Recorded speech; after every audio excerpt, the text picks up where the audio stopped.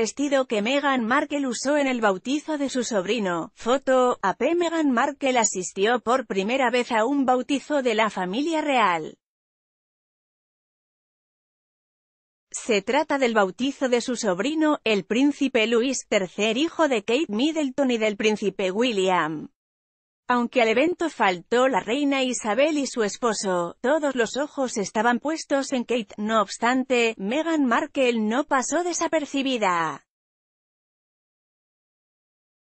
La esposa del príncipe Harry había preferido usar el color rosa nude en sus apariciones públicas y hace unos días nos sorprendió con un vestido amarillo, con el que conquistó en las redes sociales.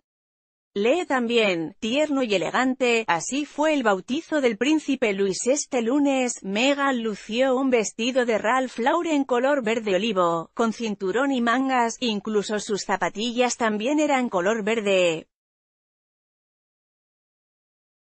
Para algunos medios, la duquesa de Sussex decepcionó pues después de ver la fantástica de color amarillo, ahora usó un tono más sobrio. Meghan Markle y el príncipe Harry en el bautizo del príncipe Luis. Foto, AP Probablemente, la elección de este color se deba a que desde hace meses Meghan Markle es la favorita de los fotógrafos, y hoy, en el bautizo del príncipe Luis, era el momento perfecto para dejar que Kate Middleton volviera a ser la protagonista en un acto oficial, quien por cierto, vistió de color blanco.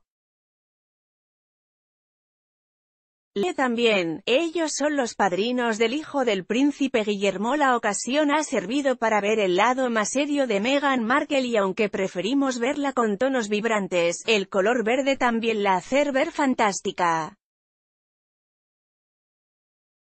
Familia real británica bautizo del príncipe Louis Kate Middleton. Meghan Markle tercer hijo de Kate y William vestido de Meghan Markle príncipe Harry